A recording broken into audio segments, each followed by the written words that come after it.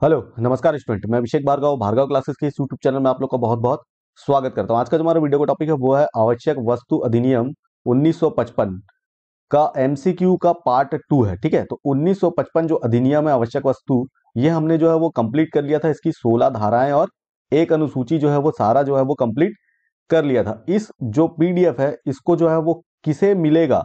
क्योंकि ये बहुत ज़्यादा, सब बच्चे बोल रहे हैं कि, सर, ये पीडीएफ दे दीजिए। तो ये पीडीएफ देखिए किनको दिया जाएगा वो मैं आप लोगों को अभी बता रहा हूँ। तो यहाँ पर देखिए इस वीडियो को स्टार्ट करने से पहले ये चीज़ को अच्छे से नोट डाउन कर लीजिए। Chhattisgarh food inspector online model test, ठीक है? तो देखिए यहाँ पर सारी डेट जो है वो दी गई है कि कब कब कौन कौन से जो है वो टेस्ट होंगे। और इस टेस्ट को ज्वाइन करना बहुत ज़्यादा ज़रूरी है क्योंकि जितने भी अभी एग्ज़ाम हो रहे हैं तो उन पैटर्न के आधार पर जो है वो ये वाले टेस्ट सीरीज़ जो है वो तैयार किए गए हैं, ठीक? तो ये सारी जो डेट्स हैं, इन डेट पे ये एग्ज़ाम होंगे, ठीक? और इसकी सारी डिटेल जो है वो आपको टेलीग्राम में दे दिया गया है, ठीक? यहाँ पर जो है फ़ीस भी मैं आप लोगों को बताना चाहूँगा कि यहाँ पर इसका जो टेस्ट का जो फ़ीस रखा गया है, वो रखा गया फोर नाइनटी नाइन ठीक है? तो जितने भी बच्चे हैं, जल्द से जल्द जो है वो इस टेस्ट को जो है वो ज़रूर ज्वाइन करें, ठीक है? देखिए टेस्ट के सारी डेट्स जो है वो दी गई हैं और इनमें जो है वो सारे लेटेस्ट क्वेश्चन जो है वो तैयार किए गए हैं। तो इसको जो है वो ज्वाइन करना आप लोगों के लिए बहुत ज़्यादा ज़रूरी है ताकि आप लोग जो है वो अपनी जो है वो परीक्षा की तैयारी अच्छे से कर पाए। ठीक? तो जितना भी आप पढ़ें, उसको जो है टेस्ट के माध्यम से आप जो है वो दें और अपना जो है वो नंबर कैलकुलेट करें कि आपने कितना बनाया है, कितना पढ़ा है, कितना सही हो रहा है और इसके अंदर सारी जो है वो जितने भी क्वेश्चन रहेंगे, वो सारे लेटेस्ट रहेंगे। ठीक? तो ये देख लीजिएगा अच्छे से और इसको ज़रूर ज्वाइन करिएगा। इसकी फ़ीस है फोर नाइनटी नाइन आपको जो है वो टेलीग्राम में इसका पूरा इन्फॉर्मेशन भी जो है वो दे दिया गया है, भार्गव क्लासेस के टेलीग्राम में। तो वहाँ से अच्छे से और पढ़ लीजिएगा। और इसका जो है एक डेमो टेस्ट जो है वो थर्टी फ़र्स्ट को रखा गया है, जो सभी के लिए होगा, ठीक है? तो थर्टी फ़र्स्ट को एक डेमो टेस्ट जो है वो वो पहले दे दीजिएगा उसको अच्छे से, ठीक? तो उससे आपको समझ में आ जाएगा कि इसमें किस प्रकार के जो है वो प्रश्न रखे गए हैं, ठीक है? तो इसको ज़रूर दीजिएगा। इसकी फ़ीस भी मैंने आप लोगों को बता दिया और ये जो टेस्ट जो ज्वाइन करेगा, उनको ये सारे जितने भी हम वीडियो बनाते हैं, वो सारे पीडीएफ उस ग्रुप में दे दिए जाएँगे, ठीक है? तो चलिए हमारा जो है आज का वीडियो स्टार्ट करते हैं। इसके अंदर है आवश्यक वस्तु अधिनियम 1955 एमसीक्यू पार्ट टू इससे पहले हमने पार्ट वन कर लिया है और देखिए, जब भी आप एमसीक्यू का वीडियो देखते हैं तो उससे पहले यदि आपने जो है वो आवश्यक वस्तु अधिनियम का पूरा थ्योरी वाला पार्ट नहीं देखा हो, सारी धाराएँ नहीं देखा हो तो पहले वो देख लीजिएगा, ठीक है? उसके बाद ही जो है वो एमसीक्यू करिएगा। ठीक? तो चलिए आगे बढ़ते हैं। देखते हैं आज के एमसीक्यू में क्या क्या है। तो देखिए, पहला प्रश्न है कि आवश्यक वस्तु अधिनियम 2009 ये संशोधित है। ठीक? प्रमुख रूप से आवश्यक वस्तु अधिनियम 1955 की किस धारा से जो है वो संबंधित है? तो यहाँ पर जो सही आंसर होगा, वो होगा धारा तीन का स। ठीक है? इससे जो है वो संबंधित है। उसके बाद दूसरे प्रश्न की तरफ़ चलते हैं। दूसरा प्रश्न है कि आवश्यक वस्तु अधिनियम 2006 ये भी संशोधित है के तहत अनुसूची में किस वस्तु को या किसी किसी वस्तु को जोड़ने या घटाने का अधिकार किसे है? ये किसी है ना? किसी वस्तु को जोड़ने या घटाने का अधिकार किसी है? किसे है? तो ये है तो आप सभी को बहुत अच्छे से मालूम होगा कि वो अधिकार जो है वो केंद्र सरकार के पास में है। किसके पास में है? केंद्र सरकार के पास में है। आवश्यक वस्तु अधिनियम धारा तीन के अधीन किए गए आदेश के अनुसरण में अभिगृहित की जाती है। वहाँ अधिग्रहण की रिपोर्ट की जाएगी। तो किसको रिपोर्ट की जाती है? ये भी आप लोगों को बहुत अच्छे से मालूम होगा। ये पहले भी हमने किया हुआ है। तो ज़िले के कलेक्टर को जो है वो रिपोर्ट की जाएगी। चौथे प्रश्न की तरफ़ चलिए। आवश्यक वस्तु अधिनियम की धारा तीन के अधीन दिया गया हर आदेश यथाशीघ्र ही इनके समक्ष रखा जाएगा। तो कहाँ रखा जाता है? संसद के दोनों सदनों में। ठीक है तो क्या आ जाएगा? संसद। संसद के दोनों सदनों में जो है वो यथाशीघ्र रखा जाता है। आवश्यक वस्तु अधिनियम 1955 के अंतर्गत आवश्यक वस्तु की परिभाषा में अन्य वस्तुओं को शामिल किया जा सकता है। तो किस प्रकार किया जा सकता है? अधिनियम में संशोधन के द्वारा। राज्य सरकार की अधिसूचना के द्वारा, केंद्र सरकार द्वारा अधिसूचना जारी करके या अनुसूची में संशोधन करके। तो यहाँ पर जो सही आंसर क्या होगा? वो होगा केंद्र सरकार द्वारा अधिसूचना जारी करके। ठीक है? उसके बाद नेक्स्ट प्रश्न की तरफ़ चलते हैं। आवश्यक वस्तु अधिनियम 1955 द्वारा निर्सित की गई विधि क्या है?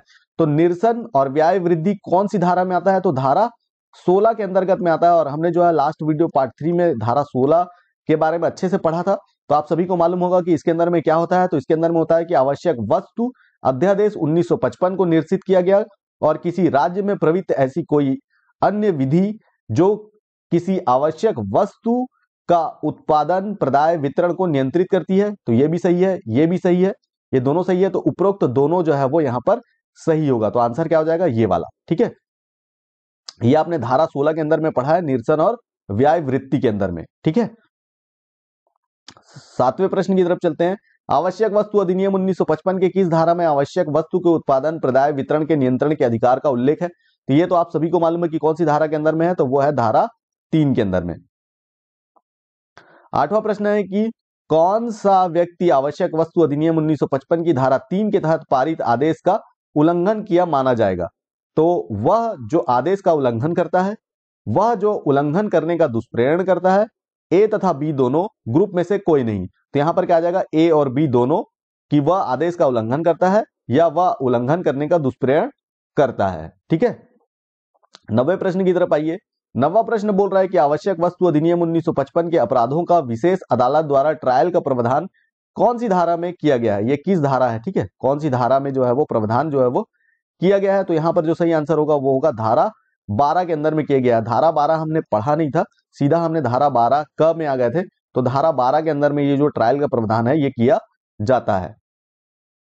दसवें प्रश्न की तरफ़ आइए। आवश्यक वस्तु अधिनियम के अंतर्गत तथ्यों की रिपोर्ट कौन करेगा? तो जो तथ्य होंगे, उसकी रिपोर्ट कौन करेगा? सामान्य व्यक्ति, कंपनी, लोक सेवक, व्यथित व्यक्ति। तो यहाँ पर जो सही आंसर होगा, वो क्या होगा? लोक सेवक जो है, वो करेगा। तो याद रखिएगा ग्यारहवें प्रश्न की तरफ़ आइए। न्यायालय अपराधों का संज्ञान करता है। तो न्यायालय कैसे करता है? अपराधों का संज्ञान लोक सेवकों द्वारा लिखित रिपोर्ट के आधार पर, किसी संस्था के मौखिक रिपोर्ट के आधार पर, मीडिया के रिपोर्ट के आधार पर या सूचना के अधिकार पर? तो यहाँ पर जो सही आंसर होगा वो होगा, लोक सेवकों द्वारा लिखित रिपोर्ट के आधार पर जो है वह न्यायालय अपराधों का संज्ञान लेता है। ठीक है? बारवा प्रश्न है कि मान्यता प्राप्त उपभोक्ता संगम से क्या आशय है? तो मान्यता प्राप्त उपभोक्ता संगम से आशय क्या होगा? कंपनी अधिनियम 1955 में पंजीकृत गठित सरकारी समिति, मर्यादित सरकारी समिति लोगों का समागम। तो यहाँ पर जो सही आंसर होगा वो होगा कंपनी अधिनियम 1956 में पंजीकृत, ठीक है?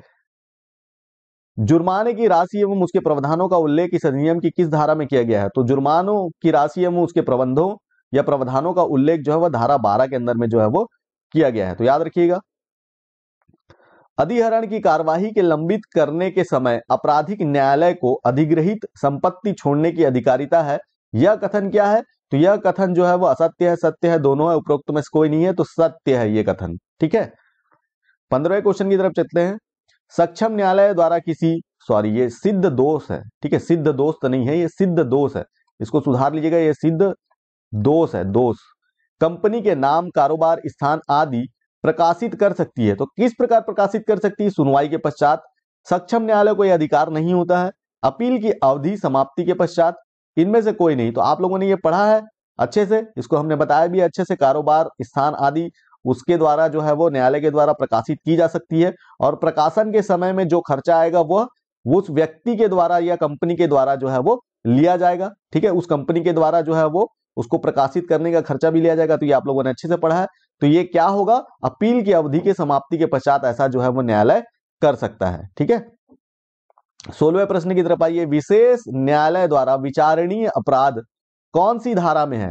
तो विशेष न्यायालय द्वारा विचारणीय अपराध कौन सी धारा में है? तो ये हमने तो पढ़ा है कि कौन सी धारा में है ये? धारा बारह क क के अंदर में, ठीक है? उसके बाद आइए, सत्रहवा क्वेश्चन है कि निरसन और व्यायवृत्ति कौन सी धारा में शामिल है? तो ये तो हमने अभी ऊपर आपको बताया कि धारा सोलह के अंदर में क्या होता है? निरसन और व्यावृत्ति, ठीक है, जिसमें हटाया जाता है, ठीक तो कौन सी धारा आ जाएगी यहाँ पर? धारा सोलह। अठारहवा प्रश्न है कि आवश्यक वस्तु अधिनियम के द्वारा जनसाधारण में हित में कुछ आवश्यक वस्तुओं के व्यापार वाणिज्य में निम्नलिखित में से या निम्नलिखित के लिए संदर्भ में नियंत्रण का प्रावधान है, उत्पादन, प्रदय, वितरण, उपरोक्त सभी तो क्या जाएगा? उपरोक्त सभी जो है वो है इसके अंदर में। उन्नीसवें प्रश्न की तरफ़ आइए, आवश्यक वस्तु अधिनियम 1955 के संबंध में सही नहीं है केंद्र शासित प्रदेश में लागू नहीं है, राष्ट्रीय राजधानी में लागू नहीं है जम्मू कश्मीर राज्य में लागू नहीं है, उपरोक्त में सभी तो उपरोक्त में सभी जो है वो इसके अंदर में आ जाएगा। बीसवें प्रश्न की तरफ़ आइए, आवश्यक वस्तु अधिनियम किस धारा के अधीन केंद्र सरकार किसी भी वस्तु को आवश्यक वस्तु घोषित कर सकती है अथवा पूर्व में अनुसूची में शामिल किसी आवश्यक वस्तु को हटा सकती है? तो यहाँ पर जो सही आंसर आएगा वो आएगा धारा बारह क के अंदर में, ठीक है? इक्कीसवें प्रश्न की तरफ़ आइए, आवश्यक वस्तु की अनुसूची में छह माह के बाद किसी आवश्यक वस्तु को बनाए रखने हेतु समय सीमा का अधिकार किसे है? तो ये आप लोगों ने बहुत अच्छे से पढ़ा है, इसको ध्यान रखिएगा। ये समय सीमा का जो अधिकार है, वो केंद्र सरकार के पास है, केंद्रीय सरकार को है इसका। ठीक है?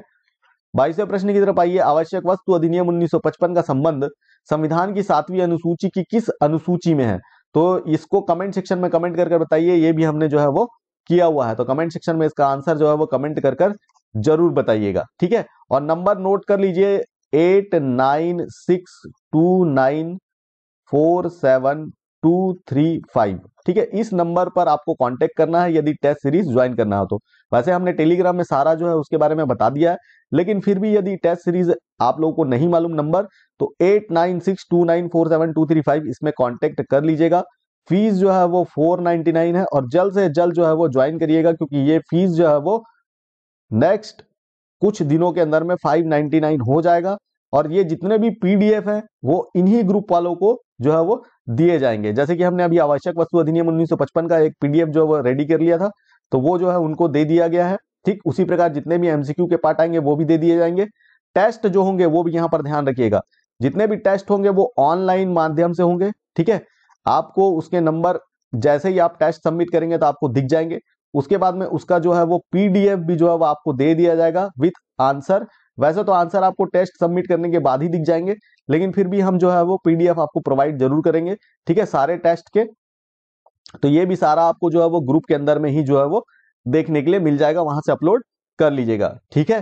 तो ये नंबर याद रखिएगा, जिनको भी टेस्ट सीरीज़ ज्वाइन करना हो, जल्द से जल्द ज्वाइन करिए, ठीक है, ताकि आप लोग जो है वो अपनी तैयारी को और बेहतर कर पाए। ठीक? सारे अच्छे प्रश्न होंगे, अच्छे लेवल के प्रश्न होंगे। जिस पैटर्न पर आधारित है ये एग्ज़ाम उसी पैटर्न पर आधारित सारे के सारे जो है वो प्रश्न होंगे, ठीक है?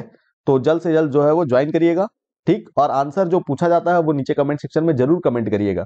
और ये जो एमसीयू का पार्ट होता है ना, ये इसलिए कराया जाता है ताकि आप लोगों की जितनी भी ये अधिनियम की धाराएँ हैं, ये जो है वो स्ट्रांग हो जाए, ठीक है? ऐसा नहीं है कि यहीं से जो है वो क्वेश्चन पूछे जाते हो, या यहीं से जो है वो सारा कुछ आने वाला हो। तो ऐसा मत सोचिए। ये जितनी भी धाराएँ आप अधिनियम पढ़ रहे हैं, ये सारी धाराएँ अधिनियम को जो है वो आपको स्ट्रांग बनाने के लिए जो है वो ये एमसीक्यू के पार्ट होते हैं, ठीक है? तो इनको जो है वो आप, इनको करने से आपकी धाराएँ जितनी भी आपने पढ़ा है अधिनियम के अंदर में, वो सारा जो है वो आपका तैयार हो जाता है, प्लस रिविजन भी हो जाता है आपका, ठीक है? आप कितना गलत कर रहे हैं, कितना सही कर रहे हैं, वो सब यहाँ से जो है वो आपको करने को मिलता है, ठीक है? तो इतना ध्यान रखिएगा, ठीक? तो आज के वीडियो में इतना ही था। जय हिंद, जय भारत।